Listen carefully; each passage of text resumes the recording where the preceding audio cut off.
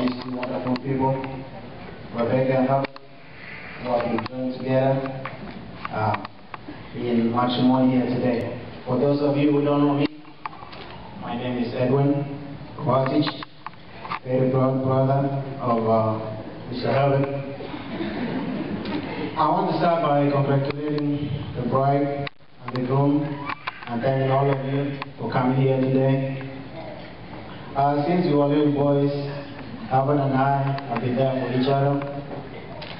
Yeah, we fought a lot, like most brothers do. Sometimes he beat me, sometimes I, I'll beat him.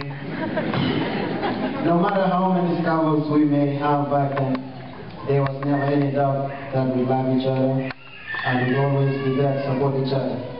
That's why I'm here today to help my brother celebrate the happiest day of his life.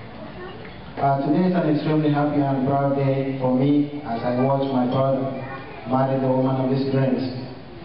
I knew when I met Rebecca, she was someone so special, someone that would change my brother's life forever in the best way. Rebecca, for the time I've known you, all I can say, you're beautiful inside and outside.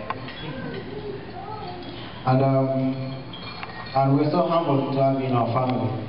We all love you and welcome you to the Rotich family. Uh, separately, you two are special, remarkable people, but together, you are complete.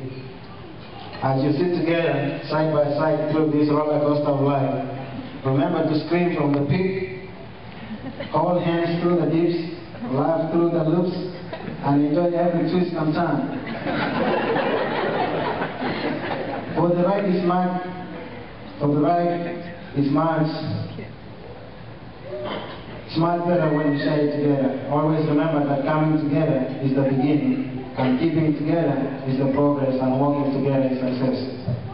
Herbert and Rebecca, I wish you nothing but years of happiness, prosperity, and good health. I love you both and wish you years of happy marriage. Now let's all raise our glasses in celebration of Rebecca and the whole union. Cheers.